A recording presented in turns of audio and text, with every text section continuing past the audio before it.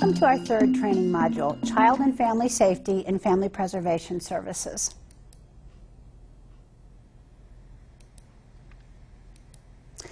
This training is going to focus on the FPS therapist's responsibility in ensuring the safety of families, especially the children with whom we work.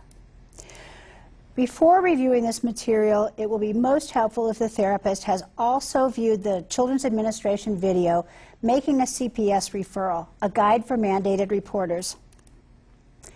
Before beginning this training, make sure you have the following things handy. Your copy of the appropriate RCW, copies of the handout, Legal Definitions of Child Abuse and Neglect, and any note-taking implements you might desire.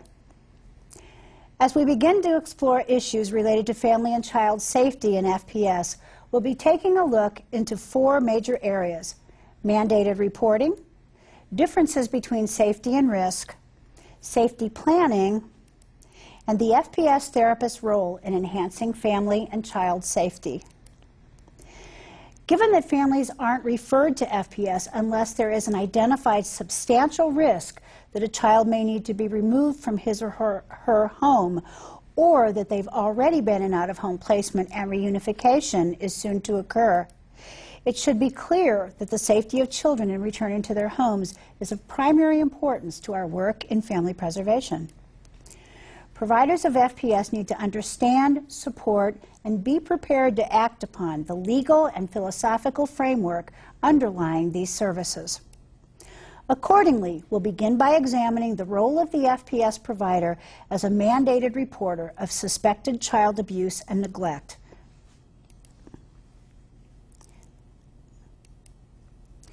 So first of all, what is mandated reporting? It refers to the statutory requirement to report suspicions of child abuse or neglect to the designated agency, Children's Administration. Of course, reports also can ma be made directly to law enforcement if necessary. What is meant by child abuse or neglect? From the RCW, and I quote, the injury, sexual abuse, sexual exploitation, negligent treatment or maltreatment of a child by any person under circumstances which indicate that the child's health, welfare, and safety is harmed. So let's talk a little bit about legal definitions of child abuse and neglect. You should have a handout available which includes definitions and examples to help you clarify both the broader and the finer definitions of child abuse and neglect. This can also assist you in determining whether any safety concerns you might have fall under the heading of, of child abuse and neglect and thus must be reported to CPS. Here's a suggestion to you. While the handout does provide statutes, definitions, and examples, this brief training couldn't begin to encompass such vital topics as identifying signs or symptoms of abuse or appropriate interventions. A concise yet thorough and extremely useful resource may be found at the Children's Administration website. Here's their address. There are also many clinically sound trainings, seminars, journals, and so on available on the topic of identification of and intervention in child abuse and neglect. Keeping in mind the parameters of your role as an FPS therapist, access these resources to increase your knowledge and skill level. So getting back to mandated reporting, who is a mandated reporter? There are three subsections of this RCW that detail who is required by law to report suspected child maltreatment. Summarizing them, because they do go on in quite a bit of detail, First of all, medical providers and other helping professionals. Department of Corrections employees who both ob either observe offenders or observe children with whom offenders come in contact, and any adult who has reasonable cause to believe that a child who resides with them has suffered severe abuse. Please refer to the RCW for a comprehensive list of mandated reporters. FPS providers frequently fall under a number of these uh, covered categories. However, the category of social service counselor, counselor generally covers most FPS providers. Must a mandated reporter have proof of child abuse or neglect before making a CPS referral? That's an easy one. No. The RCW specifies that one only need have reasonable cause to believe that child abuse or neglect has occurred. If you have any reason to suspect a child has been maltreated, CPS should be contacted and a referral made. How quickly must they be contacted? Well, the RCW actually specifies that the report must be made at the first opportunity, but in no case longer than 48 hours after becoming aware of the situation. However, since everyone watching this is involved in family preservation services, please be aware that if the referral is related to an FPS involved family, you need to make the report immediately and follow up with written notification within 24 hours. Let me also add that you'll be contacting both the referring social worker and CPS intake. So what constitutes making a referral to CPS? Well, it begins with an intake call when the referent, whoever that may be, contacts the designated CPS intake worker, who then gathers as much information as possible. Be sure to have all available information in front of you and be prepared to answer detailed questions from the intake worker. Don't worry if you don't have a lot of information. Your job isn't to go out there and investigate or make sure you have the proper information. Just come armed with as much information as you have because the intake worker is going to be asking you a large number of questions. Also, check with your agency to see if there is any specific protocol around CPS reporting that might be in place. Some of the examples of this might be that you might be required to contact your immediate supervisor before making a CPS referral. Or you may be expected to complete certain intra-agency types of forms, like a, um, a critical incident report or some other type of specialized documentation. So check within your agency to find out what their procedures are. A lot of people ask, well, can a CPS referral be made anonymously? I don't want them to know that it was me. Well, yeah, it can be made anonymously, but don't do it. As a mandated reporter, the way to prove that you've fulfilled your obligation to report is by giving your name, phone number, and your connection to the child involved to the intake worker when making the referral. It's helpful to find out the name of the intake worker to whom you've made the report. Make note of this in your FPS charting notes as further verification you've fulfilled your responsibility as a mandated reporter. Also, in case questions should arise later. Can non-mandated individuals make reports to CPS? Absolutely. And if somebody shares information with you about their own suspicion of a child being maltreated, please encourage them to report it directly to CPS themselves. Please keep in mind, however, this doesn't take away your responsibility as a mandated reporter you still have to make a report unless you make the call with them and provide your own identifying information to the intake worker. Now, we mentioned in the deliverables training that it's required that all FPS providers do go through the mandated reporting training. And according to the contract, all new FPS staff are required to view the video Making a CPS Referral, a guide for mandated reporters, within two weeks of being hired to provide these services. And I mean, you may be hired by your agency, but not hired to do FPS. However, under any of the um, Children's Administration service contracts, that is a requirement. You can get a copy of that video directly from Children's Administration or you can access that online and we've included the, uh, the website here. After viewing the video, each employee or subcontractor must sign and date a statement acknowledging his or her duty to report child abuse and neglect. The video must be viewed and the appropriate statement signed at least once every three years according to the contract. Some agencies have tighter restrictions than that. One agency I'm aware of requires its employees to view the video and sign a new CPS statement every six months. So be sure and find out what your agency's requirements are. Some final words on mandated reporting.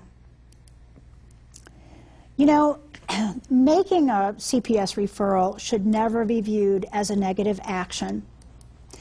Remember, the purpose for mandated reporting and for CPS in general is to ensure the safety and well-being of all children. And not coincidentally, that's exactly the focus of Family Preservation Services. As FPS therapists and parapros, we pledge to ensure the safety of the child as being our top priority. As mandated reporters, we're given the legal responsibility not for investigating allegations or considering potential repercussions of a CPS referral, but for speaking up anytime we have reason to suspect that a child may be experiencing abuse or neglect. Failure to fulfill this obligation as a mandated reporter may not only jeopardize a child's safety, it could result in the loss of your FPS contract, your job, suspension or revocation of your professional licensure and or registration, and your inability to obtain future employment in the field of social welfare. So please, understand and be prepared to fulfill this vital responsibility to the children of your community, as well as to your profession, your agency, and to yourself. Let's look now at the differences between safety and risk. So, what are we really talking about here? A lot of people think of safety and risk as being essentially the same side or the same, uh, the same thing, but there are decided differences between them. So, let's take a little time to define them. Safety refers to freedom from danger or injury. The primary focus of FPS is ensuring that children are free from threats to their health or well being. So then what does risk mean? Well, risk is like the other side of that coin. Risk refers to danger or the possibility of suffering harm or loss. Risks are those factors that jeopardize a child's ability to live in a safe environment. They're essentially different sides of the same coin, as I indicated. Both are important elements of our work in FPS. Safety is what we seek to promote or enhance or increase. Risk is what the FPS intervention seeks to manage or reduce or hopefully to eliminate. There's another significant distinction to keep in mind when we consider safety and risk. Safety focuses on current conditions that may harm or endanger a child now.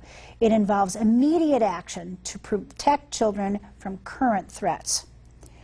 Risk, on the other hand, focuses on factors that estimate the likelihood of future child, or abu child abuse or neglect. It involves planned interventions to decrease the risk of harm.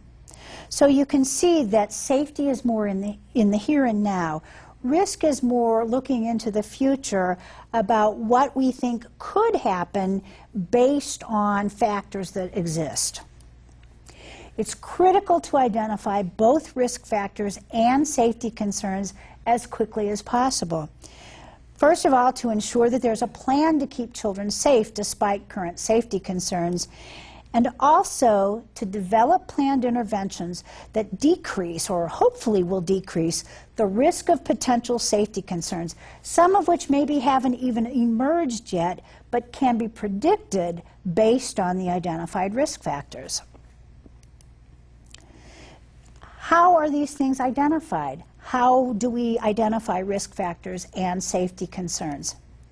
Well, you know, by the time FPS gets the referral, that's already started.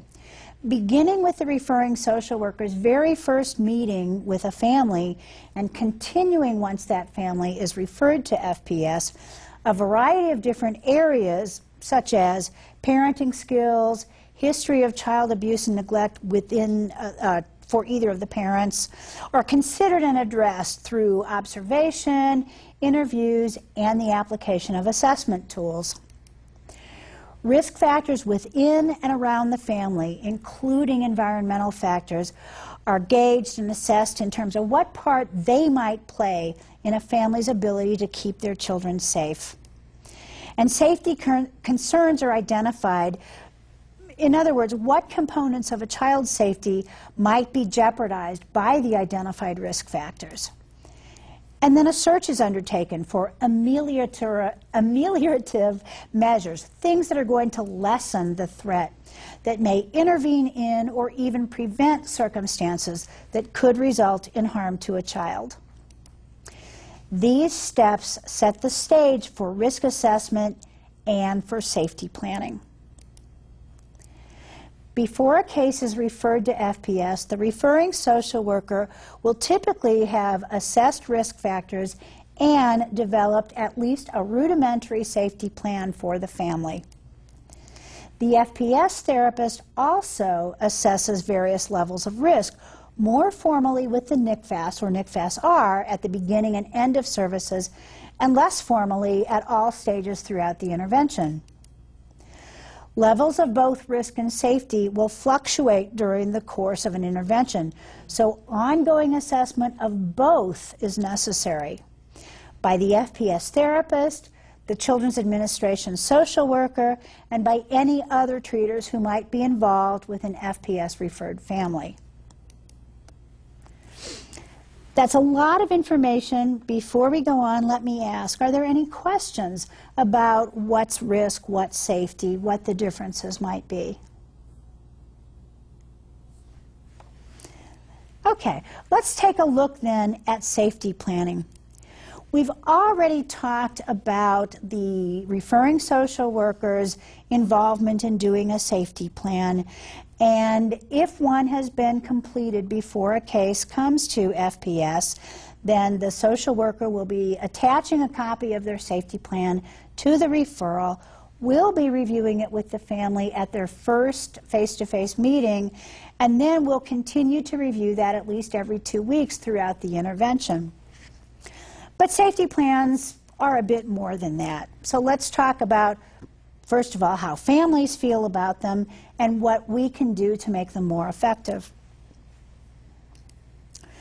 so, as we talked about, you have the, in your hand a copy of that safety plan when you get the referral. We review it, and we ongoingly review it every two weeks. But when you go in to meet with a family, and you're getting to know them the first time, you're getting information, you're asking them questions, you're paying attention to what's going on in the home, and then comes the point where you need to ask them, um, do you have your copy of the safety plan that the social worker left with you? And you may find that you're met with a blank stare.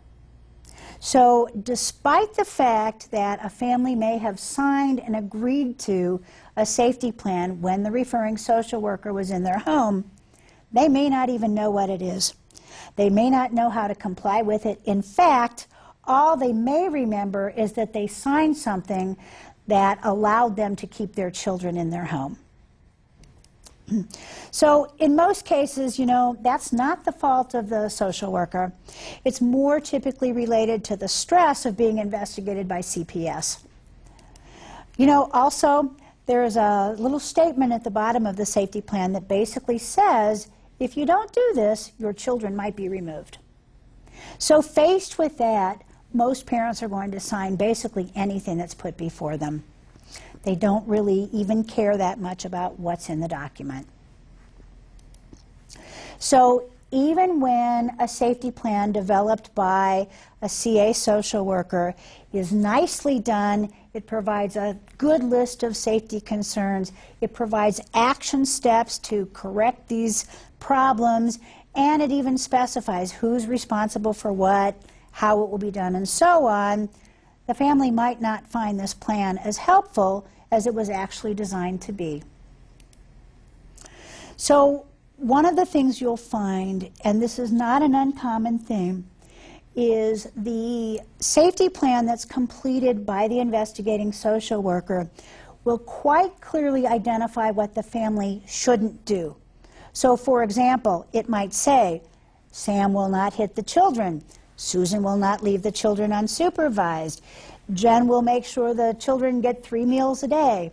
It will, well, that was more of a positive thing. Okay, Jen will not forget to feed the kids. They often don't say or don't give ideas as to what family members could do instead.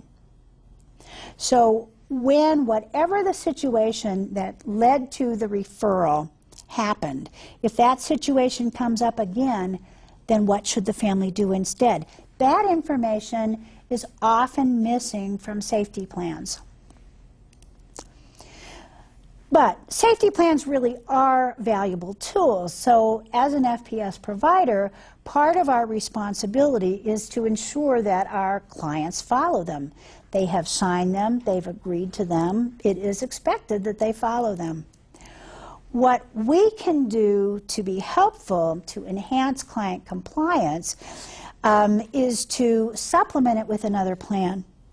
Another plan that's creative collaboratively between you as the FPS therapist and the family. So let's take a look at what makes a safety plan useful. A good safety plan clearly states First of all, the safety concerns. Think of safety concerns as what we hope to avoid, what presents risks to the child. Then, a good safety plan also lists available resources. In other words, who could be contacted if a threat to that child's safety should appear? If this undesirable situation looks like it's going to happen, what could the family do to prevent it or to step in and change things. And last of all, an action plan. What specific steps should be taken and who should take them to ensure that the children are safe? It sounds simple, right?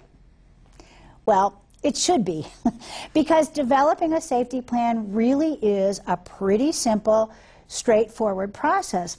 But you know what? There is one thing about helping professionals in general that tends to make developing safety plans challenging. And you might be able to guess what that is. We always want to jump in and fix things. So, whether it's the FPS therapist or the Children's Administration social worker, we always want to try to create safety plans that are more future oriented than present oriented. And I mean, you know, think to every training you've ever gone to, think back to college or whatever. Hasn't everybody always told you, don't be reactive, be proactive? Well, when we create safety plans, it really is one time you need to be thinking more in terms of reaction rather than prevention. When you develop a safety plan, don't include resources that the family might be able to access next month or the skills that you're hoping that you're going to be able to teach them next week. Instead, you need to think about what if a crisis happened 20 minutes after you leave their house? Or what if, what if something happens in the middle of the night? Or what if something happens on Christmas Eve? Then what are they going to do? You know, a lot of times we think in terms of, well, I'll help you get connected with an AA sponsor, and then if you think you feel like drinking, you can call that sponsor. That's all well and good, but what if she feels like drinking tonight? Then what's she going to do? That sponsor isn't in place yet. A safety plan needs to focus on exactly this. If the thing you're hoping to avoid looks like it's going to happen, then this is what the family should do. And that's what I spell out here. If the situation you wish to avoid, in other words, whatever it is that could threaten your child's safety, uh, could cause problems in your ability to maintain your child in your home, if that starts to happen, this is what you can do to lessen the possibility that any harm will come to the child. And you'll be using whatever resources you have on, on hand at that time. Here's another way to look at it safety plan. In case of crisis, do this. Short and sweet. it needs to be concise and to the point because, I mean, think about it. How clearly do you think in, in times of emergency or crisis? People tend to get frazzled no matter how well organized they typically are when a crisis occurs. So when you're helping a family develop a safety plan, limit the number of steps in that action plan and limit the number of words you use to explain it. A training I went to once said, when you're dealing with people in crisis, make statements of no more than five words per, and no more than five letters per word. Keep it simple. And that's what's going to make a difference. So, for example, if dad passes out, Tim will call 911. If parents are fighting, Lakeisha will go to Pat's house. If John gets violent, Kelly will take the kids next door. If mom is drinking, Terry will call dad for a ride. Short and sweet. If this thing starts to happen, this is what you will do. Now, you don't tell the family this is what they will do you work through those issues with the family and say, if this happens, what kind of option could you use? Who could you turn to? Who could you call? Where could you go? And take the family's suggestions and ideas and put that down in the form of a safety plan for them. So, all these great resources, all the skills that you have or that you want to share, everything that you want to wish to introduce the family to, they don't belong in the safety plan, but save them because those are the things that you're probably going to want to put in the family service plan. The service plan calls for proactive planning, resource developing, skill building, practice, modeling, all those things you do so well as an FPS therapist. That's what, go in the, what goes in the service plan. The safety plan is if the bad thing happens, this is what you ought to consider doing. So here's how to create an effective safety plan. First of all, you're going to want to review if the social worker did a safety plan, review that, and um, because you should have a copy and the client should have a copy. And you know, it goes without saying, if one wasn't done, then you're going to omit this step. But looking at the safety plan, if one was done, ask these questions. Does this safety plan include each safety concern that was designated on the FPS referral form? In other words, everything that the social worker tells you is a reason why this family is being referred for services. Has that safety concern been included on the safety plan? Because they should be there. Next, does it provide specific action steps or does it merely tell the family what not to do? Most of the families that we've worked with have actually been told on more than one occasion, don't do this, don't do that. But what is often missing is alternative suggestions. Next question to ask is Does the family actually agree with the information that's on the CA safety plan? You know, this is a great opportunity for you to get the family's take on what led to the referral. Now, I want to point out um, that while they may not agree with what the social worker said, Um, your role isn't necessarily to get in the middle of any kind of argument or, or disagreement, but just merely to hear them out. It might be the first opportunity for them to really air their sense of what's happened. And maybe they have legitimate concerns or grievances. So being able to hear them, hear them out, is a, a great way to join with them during that first meeting and in subsequent meetings. Next is, does the, is that safety plan really a safety plan or is it more of a service plan? So look for, does it provide strategies for, for intervention should something happen or prevention if they see a situation blowing up? Or does it just focus on developing future resources? Quite frequently, safety plans that I've seen from referring social workers have done have said things like, "Mom will check in with so and so three times a week," or "Ted will go for a drug and alcohol evaluation by such and such date." That's a service plan and not a safety plan. So if either you as the therapist or the client don't feel that the safety plan provides them with clear and sufficient direction about what they should do if one of these situations arises that jeopardizes their child's safety, then the development of a new or a supplemental plan with them really can make a huge difference in their willingness or ability to follow the CA safety plan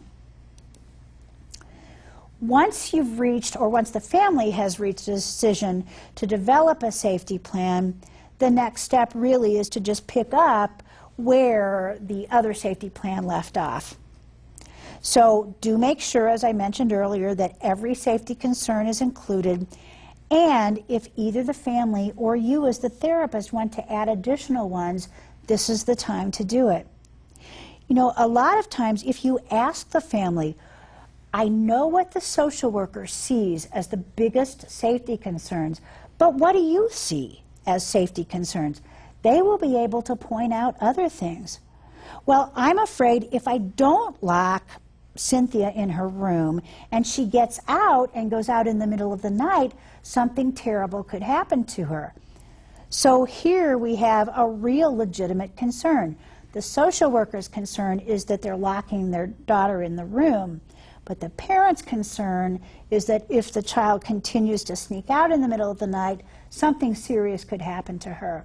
So this is another really valid thing to address in that safety plan, not ignoring the other issue, but adding to it. As I mentioned earlier, do be prepared for family members to disagree with the social worker's assessment or interpretation of what's gone on. But I want to encourage you. you know, sometimes a social worker will say, you know what, if we want to do good cop, bad cop, and you want me to be the bad cop, that's fine. As long as we can keep these children safe, I'll be the bad guy if that's what's going to work. That's kind of uh, kind of a sticky trap to fall into. It can be used, but that it, it there's a decided downside. But what I do want to point out is while we are always working side by side with the referring social worker, at this first meeting, when you're talking about safety concerns and so on, it's not the time to stand up and say, you guys are wrong, the social worker is right, and you need to see it their way because that first meeting is when engagement is the real focus. These services are voluntary. Of course, there could be repercussions if the family says, Well, I'm not going to do this, then it certainly could happen that their child is removed or a judge has some different view of what's going to happen next, that type of thing. But picking a fight with the family over whether they're right or the social worker's right is not a good thing to do when you're first trying to connect with them. So, working with the family, you will want to create a list of these safety issues and the ways to address them. And here's where your skill as a clinician comes in because you need to include the social worker's concerns, yet they need to fit in with the family's perspective. Sometimes that can be a challenge. Help family members brainstorm about what available supports are there for them. These could be friends, neighbors, extended family, community crisis services, um, all kinds of different things. A church is frequently a good source of support. So look for those available supports and then help determine specific action steps that could be taken to ensure that the children will be safe. Here's the odd thing. Even if the safety plan that you help the family create says exactly the same things as the referring social worker safety plan, you can imagine what I'm going to say next. Families will typically prefer the one that they feel they wrote, that they have ownership in. Not only that, they're going to prefer the one that doesn't have an authority figure telling them, you do this or we take your kids, because that's how they will typically interpret the CA safety plan. So here's an important note that even though I'm going on about how wonderful your safety plan might be, even though you and your client may prefer the safety plan that together you write, that doesn't mean you can ignore the social worker's safety plan. It still continues to play an important role in the FPS intervention. Again, you've heard this so many times, but it is really important. And it's something that's easy to overlook if the safety plan isn't an active part of your intervention with the family. You still are required to review the CA safety plan with the family at least every two weeks. Now, as long as that second or supplemental safety plan contains all the pertinent requirements that were detailed in the CA plan, you really only will need to review the second plan, assuming that you document the results and you report it to the social worker um, to remain in compliance with this contractual expectation. If, though, that therapist generated safety plan doesn't include every item in the CA safety plan, you're still going to need to review the CA safety plan separately. What I would recommend is that you simply just discuss this whole issue with the social worker and make sure that they're okay and comfortable with the second safety plan Make sure that it includes all those elements so that you don't have to say, okay, this is our safety plan, this is the social worker safety plan, because that's not the way it's meant to be. It's not about who writes the best plan or who the family likes best or whatever. Anyway, it does go without saying that the referring social worker should certainly receive a copy of any additional or supplemental safety plan and that they should approve that. The same goes for any kind of document that you should generate in the course of family preservation services. Few last words, just to kind of reiterate some things. You know, families quite frequently find safety plans to be one of the most helpful things we do because it's concrete, it's solid, it's something that they can, you know, tack up on their refrigerator or next to their bathroom mirror or something like that. And so in times of crisis, it's there, it's real, it gives them a solid direction. Keeping these safety plans sh short and sweet is what makes them most useful in times of crisis. And then you can suggest that they keep it someplace accessible. Now, you know, not everybody wants to have a safety plan posted on their refrigerator where everybody who comes in their house can see it. But suggest to them, keep this someplace where you know where it is, maybe inside the front cover of the phone book or something like that. So in case a crisis does occur, you know where to turn. So again, remember that the intent of this safety plan is not to see who can write the best plan, whose is most comprehensive, whose the family likes better, whatever. It's to ensure that in whatever way the family is able to comply with the safety plan by having a clear idea of what they can do in case of crisis, which means that they can, there's a better possibility of them keeping their children safe. And if their children remain safe, then they will no longer need to be involved with CPS. And that's the goal of this, keeping children safe. Which leads us to the final segment of this training module, which is okay, as an FPS therapist, how can you help to enhance family and child safety?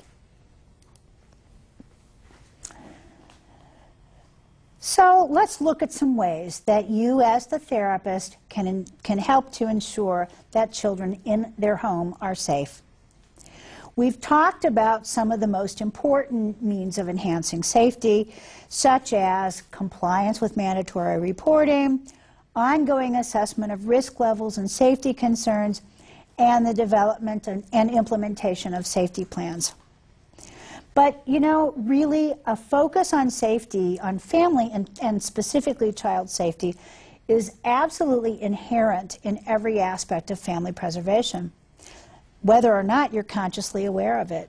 It's, it's what we do. During the course of every FPS intervention, you're going to remain vigilant at all times. You're going to be observing the behavior of family members towards each other. You're going to be listening to what's said and what's not said. You're going to be assessing environmental factors. You're going to be looking at their neighborhood, community, their home, their yard, the sounds, everything about what's going on in this family's life. And you're going to be always open to any kinds of suggestions or signs or symptoms that child safety is being compromised in any way. Now, the NCFAS or NCFAS-R helps to pinpoint when you um, do the family assessment specific areas where safety concerns might exist. And the written family assessment highlights and explains those concerns. And then the service plan develops various ways of managing, correcting, or eliminating these concerns. Throughout the intervention, you are also helping the family build on existing strengths. And the way that you're doing this, after helping them to identify these strengths, is to teach pertinent new skills, including techniques that might decrease potential harm to children and that will increase child safety. You may be teaching them other non safety related skills, but your safety related skills are the primary focus of the FPS intervention. You're also going to be connecting families to available resources in the community. And you're going to be helping them strengthen, strengthen existing connections with extended family, with neighbors, with other people that they may suggest to you or that you learn about or suggest. All of these elements that I've just been talking about work together to one primary purpose to ensure that children can safely remain in their own homes and in the care of their own families without the need of intervention from outside sources. That's what family preservation is all about. Something that people frequently ask me, therapists often ask, is well, what should you do if you no longer believe that a child is safe in their home? What if you're at a family's home and something occurs or someone tells you something or you sense something that says to you, this is no longer a safe place for this child to be? Well, of course, not only as an FPS therapist, but as a mandated reporter, you need to contact CPS intake immediately if you become aware of a situation where you believe the child's safety is uh, imminently threatened. And again, as we've already covered, the referring social worker also needs to be contacted immediately with written notification following within 24 hours. If you believe the child is in immediate danger, the first call should be to the police. don't take the time. I mean, we're talking immediate danger. Then don't take the time to call CPS first or to call the, the referring social worker. Call 911 first. If you can do it right then and there, then do it. If you need to get out of the situation yourself to safely make that call, do that. You will need to use your own best judgment. So if you feel a child must be removed from a dangerous situation immediately, call the police as soon as it's safe to do so. Do what you can to de escalate the situation if that's an option. Relocate family members to a safer location if appropriate and possible. Now, I'm not talking about popping them in their car and taking off, but if you need to go to another part of the house or outside the home or something like that, it, of course, depends on what the threat is. But if that is a possibility and it's appropriate, then do so. And, of course, provide support and reassurance as much as you possibly can, if that's appropriate. You'll need to utilize all of your clinical skills. And especially if you have any specialized, uh, received any specialized training in things like crisis intervention, mediation, de escalation techniques, and so on. Do what you can to keep the situation safe while you wait for authorities to arrive. But don't attempt to remove a child from their parents. And never feel that you need to place yourself in unnecessary danger to protect a child. And this can be a really difficult situation. But there's two things that I want you always to keep in mind. First of all, FPS therapists do not have the legal authority to take a child from his or her parental custody. Period. You do not have that authorization. Secondly, the decision whether or not a child should be removed from the home is not ever up to the FPS therapist. Okay? So don't feel like this is something that you need to do because you will not be supported in that decision. Also, another thing to remember is that none of you would ever be expected to place yourself in harm's way to keep a child safe, or a child or any family member. So your safety is not less important than safe, the safety of a child. But there are other um, designated authorities to step in and take that action.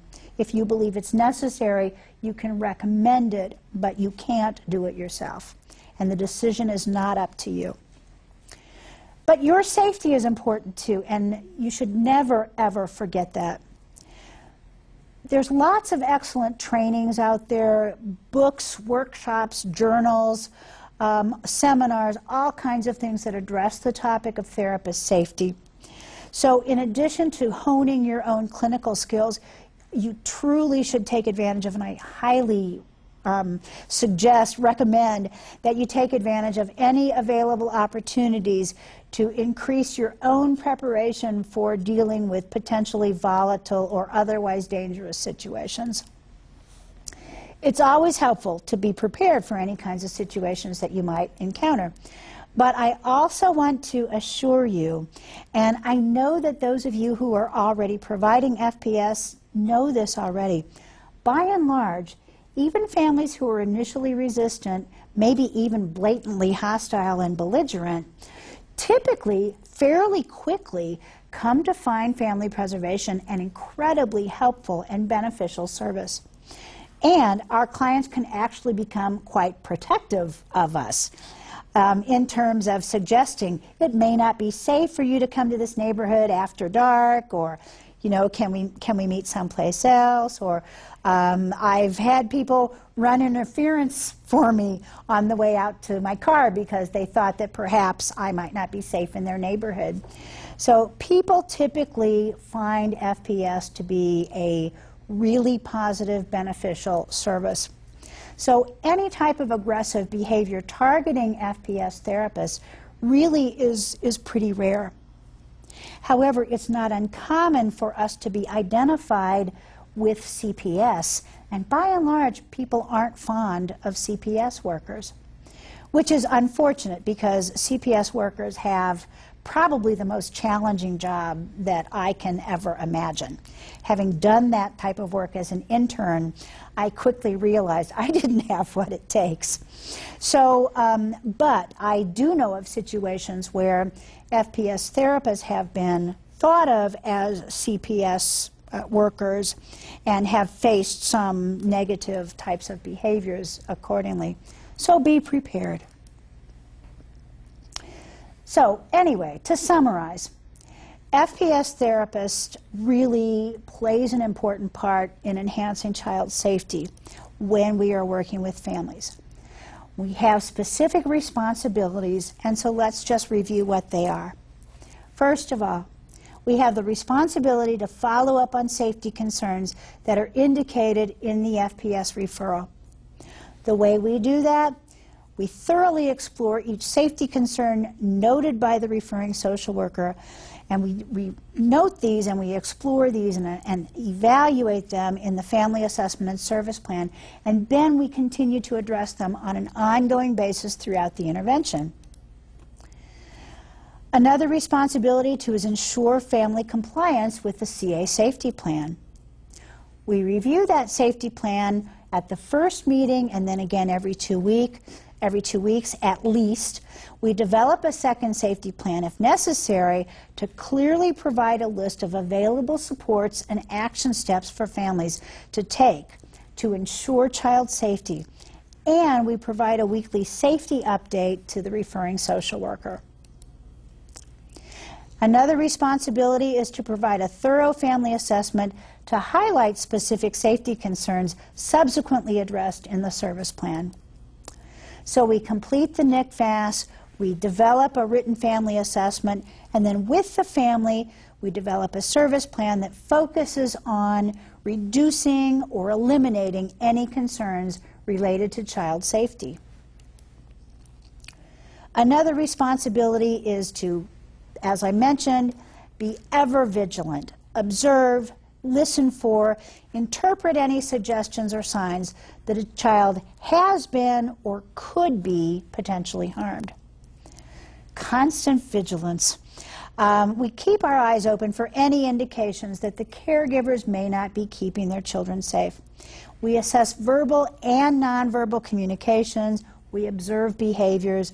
All of those good things that we do so well. We're always on the lookout to ensure that nothing stands up and says, wait a minute, we need to look more closely in this. And if it does, we follow up on it. We also have the responsibility to teach families new skills and to connect them to appropriate resources related to decreasing risk of harm and increasing child safety. We do that by introducing families to skills and techniques and resources to further reduce risk factors and to enhance the family's ability to keep children safe and healthy. And when I say introduce, I mean we explain them, we demonstrate them, we practice them with the family. We work to make these new skills, these new techniques, and, and um, acquisition of new resources. We want to make that part of their ongoing repertoire so that when crises, or just you know, how it is being a parent, just day to day situations, that they can handle them without having to resort to whatever types of situations led to the referral in the first place. And we comply with mandated reporting in the event of suspected child abuse or neglect. We report any suspicion to the intake worker as mandated we also provide verbal and written notification to the referring social worker as per the FPS client service contract. So everything we do is focused on ensuring that children remain safe. So in conclusion, from start to finish, each aspect of an FPS intervention is truly geared towards enhancing family and child safety. Regardless of the specific task at hand, the FPS therapist really is always alert to the health, well being, and children and safety of the children in every home we visit. Safety of the child is the first priority in FPS, and the effective therapist is going to focus every intervention toward that end. Thank you so much.